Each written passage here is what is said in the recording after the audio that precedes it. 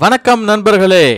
Welcome to TNPSC news trend இன்றைக்கி இப்போ release ஆகிருக்கிற news பார்த்துக்கிட்டிங்கன்னா டிஎன்பிஎஸ்சியில் நாலு உறுப்பினர்கள் நியமனம் பண்ணியிருக்காங்க. இந்த நாலு உறுப்பினர்கள் பார்த்துக்கிட்டிங்கன்னா முனியநாதன் ஐஏஎஸ் சார் பேராசிரியர் K Jothi Sivagnanam K Arulmathi A Raj Maria Susai இவங்க நாலு பேர்த்த தான் வந்து இப்போ டிஎன்பிஎஸ்சி உறுப்பினர்களாக நியமனம் பண்ணியிருக்கிறாங்க. இது நம்மளுக்கு வந்து ரொம்ப ரொம்ப ரொம்ப ரொம்ப முக்கியமான விஷயம். ஏன்னு எடுத்துக்கிட்டிங்கன்னா டிஎன்பிஎஸ்சியில் இது வரைக்கும் வந்து பார்த்துட்டிங்கன்னா ஒரே ஒரு சேர்மன் அந்த சேர்மன் சார் வந்து பார்த்துட்டிங்கன்னா பாலச்சந்தர் ஐஏஎஸ் அவர். ப்ளஸ் வந்து பார்த்தீங்கன்னா ரெண்டு மெம்பர் வந்து பார்த்தீங்கன்னா அப்பாயின்மெண்ட் பண்ணியிருந்தாங்க. அந்த ரெண்டு மெம்பர் யார் அப்படின்னா Krishnakumar sir and Balu Baluswamy sir வந்து பார்த்தீங்கன்னா அப்பாயின்மெண்ட் பண்ணியிருந்தாங்க. ஆக்சுவலாக சொல்லப்போனால் இது வந்து நம்ம ரொம்ப வந்து பார்த்தீங்கன்னா எதிர்பார்த்துட்டு இருந்த நியூஸ் தான். இப்போ ஏன் தெரியுமா இப்போ நம்ம இந்த நாலு பேர் அப்ளை பண்ணுற நாலு பேர் அப்பாயின்மெண்ட் பண்ணுறதுனால நமக்கு என்ன ஒரு பெனிஃபிட் அப்படின்னு சொல்லி பார்த்துட்டிங்கன்னா டிஎன்பிஎஸ்சியோட இனிமேல் செயல்பாடுகள் வந்து ரொம்ப ஃபாஸ்ட்டாக வந்து பார்த்தோன்னா நடைபெறும். ஏன் அப்படின்னா இது வரைக்கும் வந்து ஒன் ப்ளஸ் டூ தான் இருந்தாங்க. ஆக்சுவலாக வந்து டிஎன்பிஎஸ்சி மெம்பர் வந்து டிஎன்பிஎஸ்சி மெம்பர் ப்ளஸ் சேர்மன் எடுத்துக்கிட்டிங்கன்னா ஒன் ப்ளஸ் ஃபோர்டீன் இருக்கணும். நம்ம தமிழ் டிஎன்பிஎஸ்சியில் எடுத்துக்கிட்டிங்கன்னா. இப்போது ஆனால் வந்து பார்த்துட்டிங்கன்னா இப்போது நம்மளுக்கு வந்து நாலு பேர் வந்து அப்பாயின்மெண்ட் பண்ணியிருக்கிறாங்க. இப்போ இந்த நாலு பேர் ப்ளஸ் ரெண்டு மெம்பர் ஆல்ரெடி இருக்கிறவங்கள சேர்த்தி மொத்தமாக இப்போ ஒன் ப்ளஸ் சிக்ஸ் இருக்காங்க. அந்த ஒன்னுங்கிறது யார் அப்படின்னா சேர்மன் இந்த சிக்ஸுங்கிறது வந்துட்டுனா இந்த ஆறு மெம்பர் வந்ததுன்னா இருக்காங்க. இதனால் நமக்கு என்ன அட்வான்டேஜ் அப்படின்னு சொல்லி பார்த்துக்கிட்டிங்கன்னா டிஎன்பிஎஸ்சியோட செயல்பாடு இனி ஃபுல்லாக வேகமாக நடக்க போகுது. இனி வரும் காலத்தில் ஒவ்வொரு நோட்டிஃபிகேஷனாக நமக்கு ரிலீஸ் ஆகும். இந்த கொரோனா பேண்டமிக் சுச்சுவேஷனில் நம்ம பட்ட கஷ்டமெல்லாம் ஒவ்வொன்றா குறைய போகுது. நீங்கள் தயாராக இருக்கிறீங்களா அப்படிங்கிறத வந்து உங்களுக்குள்ளார கேட்டுக்குங்க. இதனால் வந்து நீங்கள் இப்போ இருந்தே வந்து பார்த்தோன்னா மிகவும் மிக மிக வேகமாக வந்து பார்த்தோன்னா தயாராக ஆரம்பிக்கணும். ஏன்னா இனி ஒவ்வொரு செயலாக வந்து பார்த்தோன்னா நடக்க போகுது. ஏன் நான் அப்படி சொல்கிறேன் அப்படின்னா முதல்ல ரெண்டே ரெண்டு மெம்பர் வச்சுக்கிட்டு டிஎன்பிஎஸ்சி வந்து செயல்பட்டாங்க. இந்த கடந்த ரெண்டு வருடமாக வந்து பார்த்துட்டுனா முடங்கி கிடந்ததுன்னே சொல்லலாம். எல்லா எந்த எக்ஸாமும் வந்து பார்த்தோன்னா நடத்த முடியாது. இது நடத்த முடியாத காரணம் கொரோனா அது மட்டும் இல்லாமல் வந்து மெம்பர்ஸ் வந்து பார்த்தோன்னா கம்மியாக இருந்தது தான் போன கவர்மெண்ட் இதுக்கான எந்த ஆக்ஷனும் எடுக்கல. இப்போ நம்மளுக்கு வந்து பார்த்தோன்னா இந்த நல்ல நியூஸ் வந்து பார்த்துட்டிங்கன்னா இப்போதைக்கு நாலு பேர் அப்பாயின்மெண்ட் பண்ணியிருக்கிறாங்க இதுக்கு மேலே வந்து பார்த்தோன்னா இன்னும் அப்பாயின்மெண்ட் வந்து பார்த்தோன்னா பண்ணுவாங்க. இதனால் உடனடியாக அனைத்து நோட்டிஃபிகேஷனும் ரிலீஸ் ஆகும். நமக்கு வந்து பார்த்துட்டுனா ஒவ்வொரு எக்ஸாமும் சீக்கிரம் வர்றதுக்கான வாய்ப்புகள் முன்னாடி நம்ம முன்னாடி இருக்குது இதை நம்ம யூஸ் பண்ணி கரெக்டாக வந்து இந்த வருஷம் நீங்கள் வந்து ப்ரிப்பரேஷன் ஒழுங்காக இப்போ இருந்து ஸ்டார்ட் பண்ணிங்கன்னா கூட நீங்கள் வந்து பார்த்துட்டுனா இந்த வருஷம் கவர்மெண்ட் அதிகாரி ஆகிறது உறுதி. நீங்கள் அடுத்து எடுத்துக்கிட்டிங்கன்னா பெரிய நோட்டிஃபிகேஷன் எடுத்துக்கிட்டால் குரூப் டூ தான் வரப்போகுது. அந்த குரூப் டூ எக்ஸாமுக்கு நீங்கள் இப்போ இருந்து படித்தாலே போதும் நீங்கள் வந்து ஒருத்தர்னா நல்லபடியாக வந்து ஒருத்தர்னா நல்ல போஸ்டிங்கில் வந்துடலாம் நம்ம இந்த டிஎன்பிஎஸ்சி இந்த ஆறு சேர்மன் வந்து அப்பாயின்மெண்ட் பண்ணதுனால மிக விரைவாக வந்து ஒருத்தனா உங்களுக்கு நோட்டிஃபிகேஷன் வரும். இவங்களோட மட்டும் இல்லாமல் இவங்களோட மட்டும் இல்லாமல் நமக்கு வந்து செக்ரட்டரி மேடம் வந்து பார்த்தீங்கன்னா திருமதி உமா மகேஸ்வரி ஐஏஎஸ் இவங்க ஒரு எஃபெக்டிவ் ஐஏஎஸ்ஸாக வந்து பார்த்தீங்கன்னா இருந்திருக்காங்க. ப்ரீவியஸாக வந்து புதுக்கோட்டையில் வந்து கலெக்டராக இருந்தாங்க. அடுத்து நம்ம வந்து திரு கு கிரண் குராலா ஐஏஎஸ் இவர் வந்து கண்ட்ரோலர் ஆஃப் எக்ஸாமினேஷன் இவங்க ரெண்டு பேரும் வந்ததுக்கப்புறமும் இப்போ டிஎன்பிஎஸ்சி ஒழுங்காக செயல்பட ஆரம்பிச்சிருந்தது. அதுக்கப்புறம் தான் நம்மளுக்கு வந்து இந்த மோட்டார் வெஹிக்கிள் இன்ஸ்பெக்டர் இன்டர்வியூ வந்து ஒருத்தனா போட்டிருந்தாங்க. அதுக்கடுத்து நம்மளுக்கு வந்து டிபார்ட்மெண்ட் எக்ஸாம்ஸ் ஒவ்வொன்றா வந்ததுன்னா கண்டக்ட் பண்ணுறதை பற்றி போட்டிருந்தாங்க. இதில் என்ன நமக்கு அட்வான்டேஜ்னா மிக விரைவில் உங்களுக்கான நோட்டிஃபிகேஷன் ரிலீஸ் ஆக போகுது. நீங்கள் என்ன பண்ணணும்? நம்மளோட வேலை என்ன? நம்ம இனிமேல் வந்துன்னா படிக்க உட்கார்றது மட்டும்தான். இது வரைக்கும் நம்ம படிக்காமல் இருந்திருந்தால் கூட இனிமேல் நம்ம அதை ஸ்டார்ட் பண்ணாலும் கண்டிப்பாக நம்மளால் வந்துட்டோம்னா இந்த வரப்போகிற குரூப் டூவில் வந்து வெற்றி அடைய முடியும். ஏன் நான் சொல்கிறேன் அப்படின்னா நீங்கள் நினைக்கிற மாதிரி காம்படிஷன் வந்து இந்த இனி வர்ற காலங்களில் வந்துட்டுனா அதிகமாக இருக்கும். கம்மியாக இருக்காது. ரீசன் என்னென்னா இந்த கொரோனா பேண்டமிக்னால் ஃபஸ்ட் வேவ்லேயே நிறையா பேர்த்துக்கு வேலை இழந்துட்டாங்க. இப்போ செகண்ட் வேவ் வந்து பார்த்துட்டிங்கன்னா அதிகமான வேலை இழப்பு ஏற்பட்டிருக்குது. இப்போ நம்ம மே மாதமெல்லாம் எடுத்துக்கிட்டிங்கன்னா நம்ம சென்ட்ரல் கவர்மெண்ட் டேட்டா படி பார்த்துட்டிங்கன்னா அரௌண்டு இருபது பர்சன்டேஜ் ஆஃப் பேர்த்துக்கு வந்து வேலை இழந்துட்டாங்க அப்படின்னு சொல்லிட்டு வந்து தான் ரிப்போர்ட் வந்திருந்தது. இதனால் வந்து முக்கால்வாசி பேர் இப்போ ஃபீல் பண்ணுறது என்ன அப்படின்னா நமக்கு ஒரு செக்யூர்டான ஜாப் வேணும் அப்படின்னு நினைக்கிறாங்க. அந்த செக்யூர்டான ஜாப் எடுத்துக்கிட்டோம் அப்படின்னா அதுக்கு கவர்மெண்ட் வேலை தான் ஒரே ஆப்ஷன் அப்படின்னு வந்து எல்லாரும் இந்த பக்கம் வந்து நோக்கி வர ஆரம்பிச்சிருக்காங்க.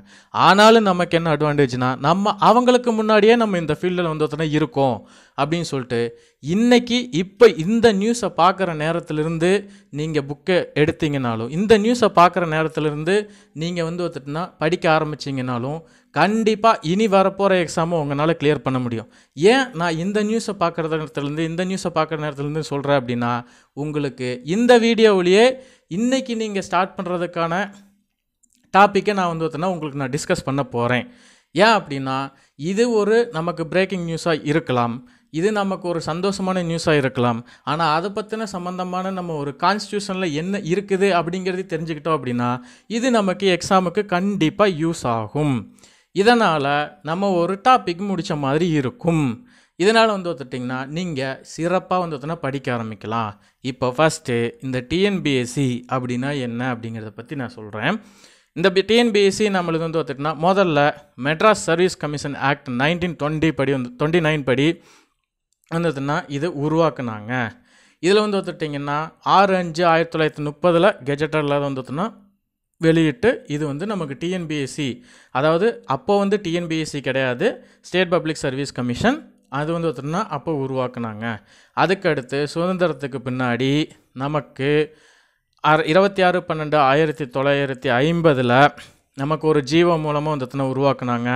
அது எப்போ இருந்து எஃபெக்ட் ஆச்சு? த ரூல் அந்த ரூல்ஸ் அண்ட் ரெகுலேஷன்ஸ் எப்போ இருந்துன்னா ஃபர்ஸ்ட் ஜனவரி நைன்டீன் ஃபிஃப்டி ஃபைவ்லேருந்து வந்துன்னா நமக்கு உருவாச்சு. இது இப்போது இப்போ நம்ம பப்ளிக் சர்வீஸ் கமிஷன் அப்படிங்கிறது என்ன? இந்தியன் கான்ஸ்டியூஷனில் uh, எந்த இடத்துல இருக்குது அப்படின்னா article three one five two three two three வந்து பார்த்தீங்கன்னா part fourteen of Indian constitution இதில் தான் வந்து பார்த்தோன்னா நம்மளுக்கு இந்த பப்ளிக் சர்வீஸ் கமிஷனை பற்றி சொல்லியிருப்பாங்க. இல்லை யூனியன் பப்ளிக் சர்வீஸ் கமிஷன் அதில் வந்து பார்த்தோன்னா சொல்லியிருக்கிறது யூனியன் பப்ளிக் சர்வீஸ் கமிஷனை பற்றி சொல்லியிருப்பாங்க. Article three one six two three one nine வரைக்கும் இருக்கிறதுல நம்மளுக்கு டிஎன்பிஎஸ்சி பற்றி இல்லை ஸ்டேட் பப்ளிக் சர்வீஸ் கமிஷன் பற்றி வந்து சொல்லியிருப்பாங்க. இதில் ஆர்டிக்கல் த்ரீ டுவெண்ட்டி அப்படிங்கிறதுனா ஃபங்க்ஷன்ஸ் ஸ்டிபுலேட்டட் இன் அந்த கே பப்ளிக் சர்வீஸ் கமிஷன் இதை பற்றி வந்ததுன்னா நமக்கு வந்து சொல்லியிருக்கிறாங்க. இதனால் இதெல்லாம் இந்த ஆர்டிக்கல் இதெல்லாம் வந்ததுன்னா நமக்கு எதுக்காக அப்படிங்கிறது இந்தியன் கான்ஸ்டியூஷன் படிச்சிருந்தீங்கன்னா உங்களுக்கு இப்போ நல்லா தெரியும். இப்போ சேர்மன் அப்படிங்கிறது எதில் இருக்குது அப்படின்னா ஆர்டிக்கல் த்ரீ ஒன் சிக்ஸ் அதில் கிளாஸ் ஒன் ஏல தான் வந்துட்டுனா நம்ம சேர்மன் பற்றி வந்துட்டுனா சொல்லியிருப்பாங்க.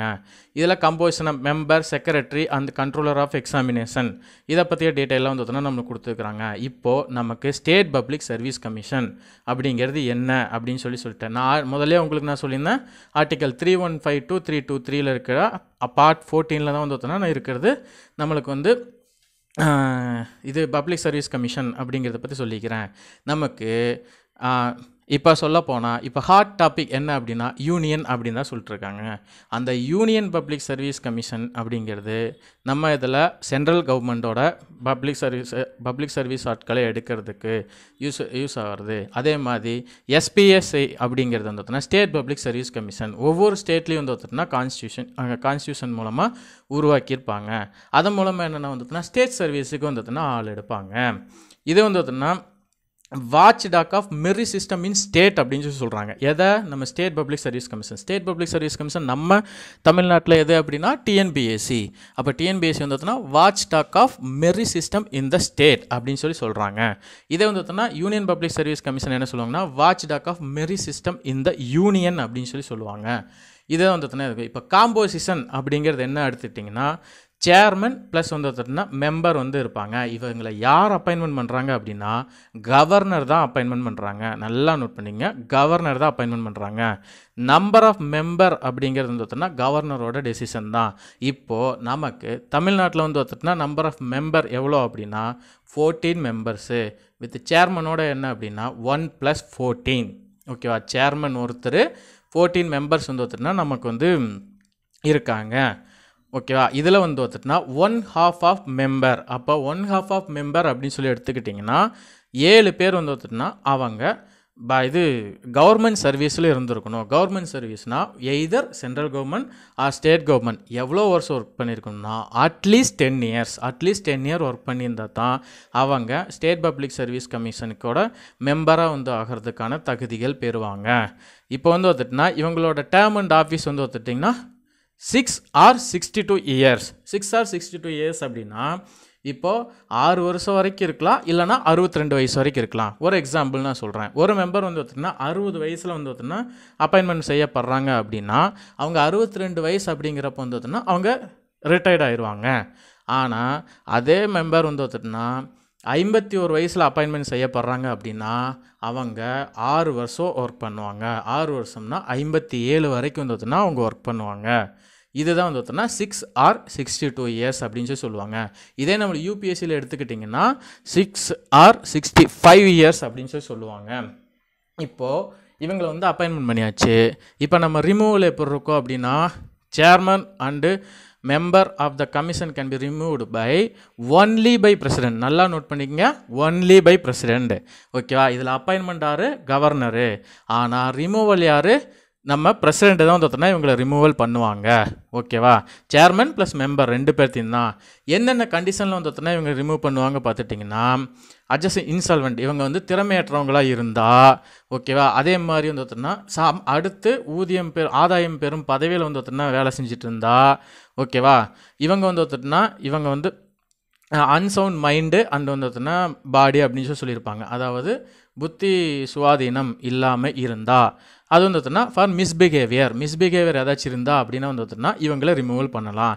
இந்த மிஸ்பிஹேவியர் கண்டிஷனில் மட்டும் வந்து பார்த்தோன்னா பிரசிடென்ட் யாருக்கிட்ட வந்து இதை கேட்பாங்க அப்படின்னா சுப்ரீம் கோர்ட்டுக்கிட்ட சொல்லி இவங்க வந்து மிஸ்பிஹேவியர் பண்ணிக்கிறாங்களா இல்லையான்னு சொல்லி விசாரணை பண்ண சொல்லுவாங்க.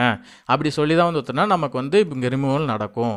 இப்போது இண்டிபெண்டன்ஸ் இப்போது இப்போ இவங்களை அப்பாயின்மெண்ட் பண்ணிட்டாங்க அப்படின்னா இவங்களை வந்து பார்த்துட்டுனா இவங்க ஃப்ரீ இவங்க வந்து ஒரு கான்ஸ்டியூஷன் பாடி தான் டிஎன்பிஎஸ்சி இவங்களை வந்து அவ்வளோ சீக்கிரத்தில் வந்து ரிமூவ் பண்ண முடியாது.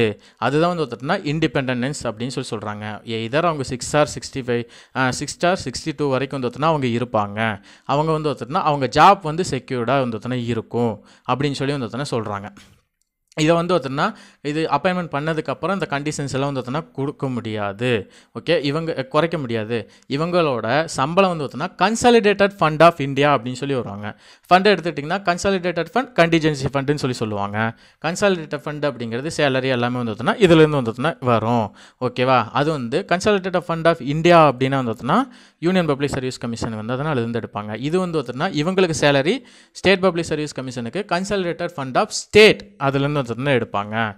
இந்த சேர்மன் ஆஃப் எஸ் எஸ்பிஎஸ்சி இருக்காங்க பார்த்தீங்களா? அவங்க நாட் எலிஜிபிள் ஃபார் வந்து ரீஅப்பாயின்மெண்ட் அப்படின்னு சொல்லி சொல்கிறாங்க அதாவது இவங்க ஒன்ஸ் நீங்கள் சேர்மனாக இருந்து அறுபத்தி ரெண்டு வயசு ஆனோன்னு ரிட்டையர்ட் ஆகிட்டீங்க அப்படின்னா அவங்கள வந்து பார்த்துட்டுனா ரீஅப்பாய் கவர்மெண்ட்டில் வந்து ரீஅப்பாயின்மெண்ட் பண்ண முடியாது.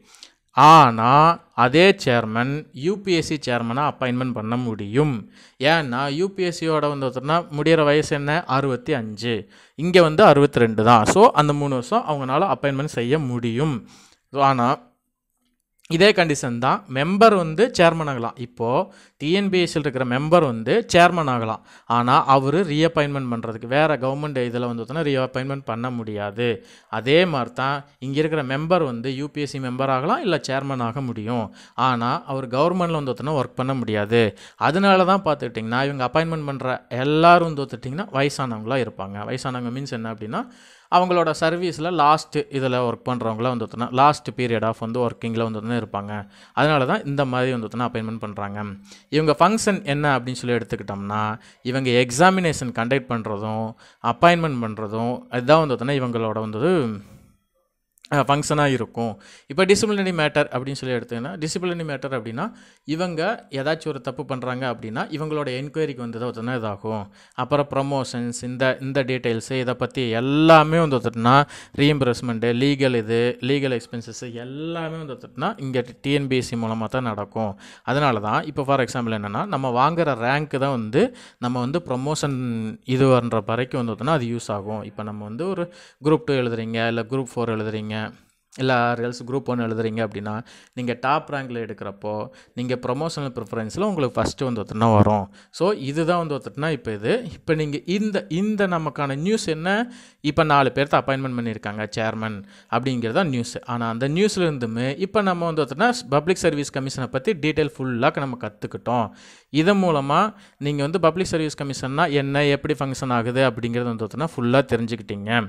இந்த மாதிரி உங்களுக்கு daily newses newses and updates இதை பற்றி டிஎன்பிஎஸ்சியை பற்றி உங்களுக்கு தெரிஞ்சுக்கணும் அப்படின்னா இங்கே ரெட் கலர் பட்டன் இருக்கிற சப்ஸ்கிரைப் பட்டன் அமுத்திட்டு பக்கத்தில் இருக்கிற பெல் ஐக்கானை டிங்குன்னு கிளிக் பண்ணிடுங்க இந்த வீடியோ உங்களுக்கு பிடிச்சிருந்ததுன்னா லைக் பண்ணுங்கள் ஷேர் பண்ணுங்கள் கமெண்ட் பண்ணுங்கள் உங்கள் ஃப்ரெண்ட்ஸுக்கு இந்த வீடியோ ரெக்கமெண்ட் பண்ணுங்கள் நமக்கு ஒரு நல்ல காலம் பிறந்துருச்சு கண்டிப்பாக நோட்டிஃபிகேஷன் முன்னாடி இருக்குது நீங்கள் தயாராகணும் தயாராக இருங்க. நமக்கான காலம் வந்துருச்சு போர் வீரர்களை போல் வந்து வந்துட்டுனா செயல்படுறதுக்காக வேகத்தோடவும் உத்வேகத்தோடவும் வந்துட்டோம்னா இன்னையிலேருந்து நீங்கள் செயல்படுங்க. இன்றைக்கு உங்களுக்கு ஒரு டாபிக் வந்து நான் சொல்லிட்டேன். ஸோ நீங்கள் இனிமேல் டெய்லி வந்துட்டுனா ஒர்க் பண்ணுங்கள் minimum ten to fifteen day fifteen முடிஞ்சால் ஃபிஃப்டீன் ஹவர்ஸ் வந்துட்டுனா ஒர்க் பண்ணுங்கள் ஏன் அப்படின்னா அந்தளவுக்கு காம்படிஷன் இருக்குது மறந்துடாதீங்க. மறந்துடாதீங்க. இன்னும் நல்லா ஒர்க் பண்ணுங்கள் நல்லா வந்துட்டுனா இது டெஸ்ட்டு போட்டு பாருங்கள் இதெல்லாம் திரும்ப திரும்ப பண்ணுங்கள் அப்படின்னா தான் கண்டிப்பாக ஜெயிப்பீங்க. Thank you friends subscribe to our channel thank you